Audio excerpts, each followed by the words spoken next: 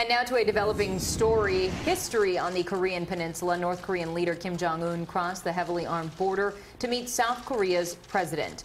The two signed a joint declaration setting some pretty lofty goals, including formally ending the Korean War with a peace treaty.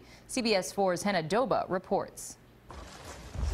It was a border crossing 65 years in the making. On Friday morning, North Korean leader Kim Jong un stepped over the line separating his country from South Korea. By doing so, he became the first North Korean ruler to set foot there since 1953. Kim was greeted by South Korean President Moon Jae in.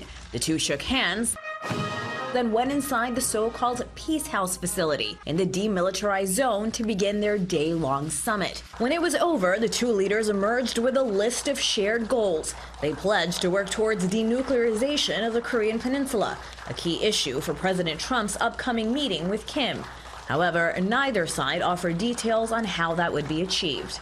Many South Koreans are skeptical. This Seoul resident said he's worried because he suspects his country will be deceived by the North. A retired South Korean general expressed similar doubts about Kim's intentions. So I think we really need to uh, double check what he is saying.